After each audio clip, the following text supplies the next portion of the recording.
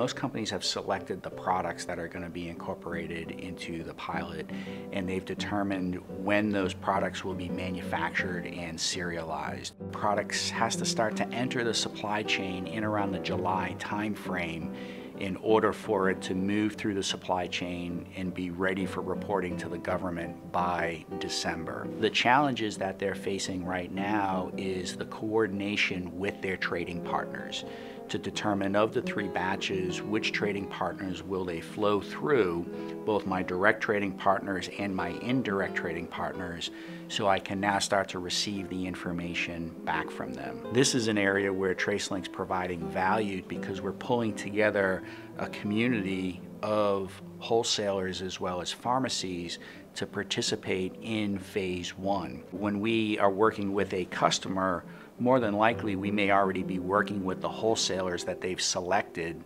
to participate in their pilot. What that does is it reduces the time, the cost, and most importantly, the risk associated with meeting the December requirement.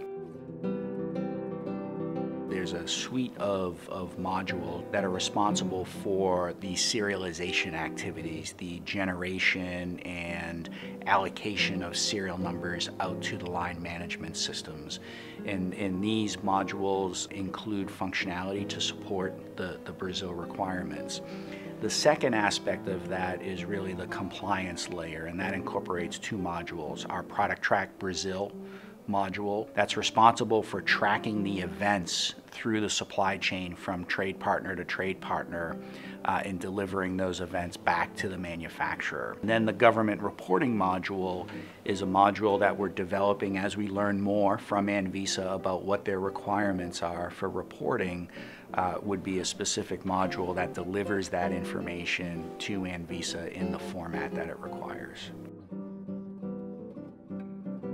TraceLink's partnered uh, with a company in Brazil by the name of SPI. They've been servicing the life sciences industry in Brazil for about 20 years. We selected SPI as our partner because of their experience in track and trace. They're very knowledgeable about the, the technology and the challenges. The other reason for partnering with SPI is the local support that they can provide us in country. We recognize the need for our customers to be able to pick up the phone in the right time zone and talk to a local representative uh, in the in the local language. And that was important for us in terms of selecting a partner, and that's why we selected SPI.